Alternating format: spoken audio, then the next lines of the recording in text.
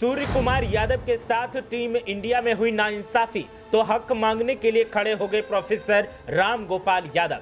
UP से निकली आवाज़ आईसीसी तक जाएगी। सूर्या का खोया सम्मान वापस दिलाया जाएगा। पहले शिवपाल ने की तारीफ़, अब राम गोपाल ने उठा दी आवाज़। क्या जय शाह मांगेंगे माफ़ी? देखिए कैसे टीम इंडिया के स्काई के लिए खड़े हुए सपा सांसद और क्यों पूरा देश साथ खड़ा हो गया।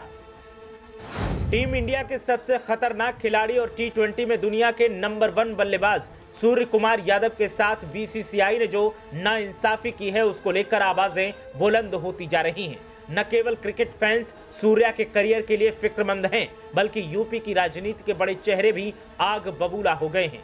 समाजवादी पार्टी के राष्ट्रीय महासचिव और राज्यसभा सांसद प्रोफेसर राम गोपाल यादव ने खुले तौर पर सूर्या के हक के लिए आवाज़ बुलंद कर दी है और कहा है कि खेलों में राजनीति के चलते सूर्या के साथ नाइंसाफी हुई है और इसके लिए बीसीसीआई खुद जिम्मेदार है।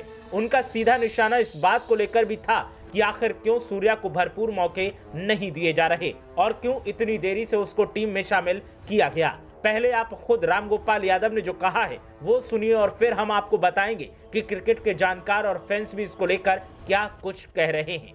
सूर्य कुमार यादव बत्तीस साल की उम्र में उसको खिलाने का मौका मिला।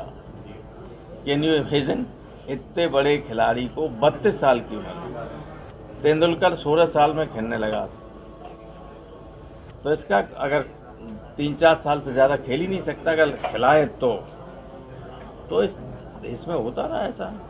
हर क्षेत्र में, हर उसमें जो है, कई बार बहुत होनहार लोगों की को निगलेक्ट कर देते हैं, नज़रअंदाज कर देते हैं। तो हमेशा से आरोप लगते रहे हैं कि कुछ लोगों को, अच्छे लोगों को नहीं लिया जा रहा, कुछ सिफारिश के बल पर लिए जा रहे हैं। और अब तो पूरी तरह से पॉलिटिकलाइज हो गए सारे संगठन। तभी तो कुछ लोग कहते हैं कि राजनीतिक दलों के लोग जो हैं, खेल संगठनों में राजनीतिक दल के नेताओं को नहीं होना चाहिए।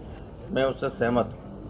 हर एक क्रिकेट में देखिए तो कोई नेता होगा, हॉकी में देखिए तो कोई नेता होगा, कोई ऐसा खेलने फुटबॉल में देखो तो नेता बैठा हुआ है। तो खिलाड़ी ही जब इसको देखेंगे तो कुछ सुधार होगा। तो सुना आपने, राम गोपाल यादव ने साफ़ शब्दों में कहा कि खेलों में नेताओं का खेल सब कुछ बिगाड़ रहा है। भारतीय क्रिकेट टीम के स्टार क्रिकेटर सूर्य कुमार यादव का उदाहरण देते हुए कहा कि राजनीति ही वजह है कि इतने बेहतर खिलाड़ी का 32 साल की उम्र में पदार्पण हुआ। इधर, राम गोपाल यादव ने सूर्या के लिए ये बातें कही तो उधर सोशल मीडिया पर फैंस भी सूर्या के साथ खड़े दिखाई दिए।